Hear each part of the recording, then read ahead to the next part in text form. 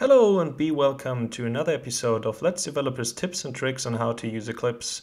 Today we're going to talk about how to automatically uh, add static imports to your classes. Most often people encounter that problem when writing test classes. For example, you want to use um, the test uh, annotation that works quite fine and then you write public void should do something and you want to add an assertion here like assert true and you find that there's no automatic import in the code completion nor is there a quick fix. It only allows you to um, create stuff and uh, even automatically says you can't change assert true to assert use the class but that's not what you want. You want to have a static import that looks like uh, import static uh, org junit assert dot assert true uh, like that so that this down here works like this right?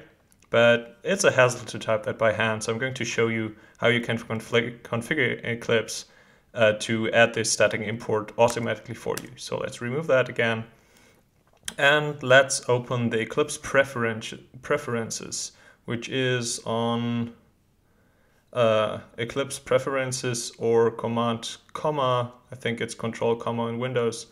So you can open that and you want to search for static imports that what I normally do.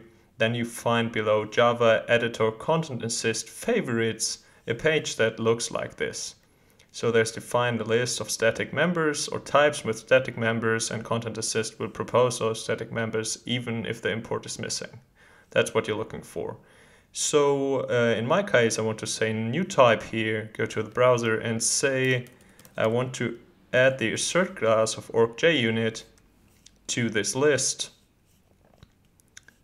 and save it. And what I can do now is hit code completion and it will offer me these two methods uh, as it did before when I added the import manually and if I complete it will add the static import above. In fact that also works for the other assertion method like assert array equals or yeah, down here assert equals false not equals whatever uh, what have you.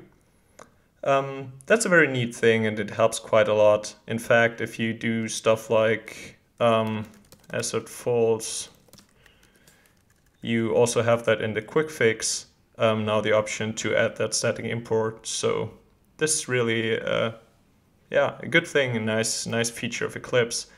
And yeah, I use that normally for org.junit assertions, for the Hamcrest matches, and for Mockito stuff. So there's quite lots of frameworks, most of them related to testing, um, where you have static imports, and it's really nice to have the automatic import feature. Okay, I hope you liked that demonstration. If so, give me a thumbs up. If not, send me a message, drop me a comment, let me know what you think. And uh, yeah, thanks for watching and I hope to see you next time.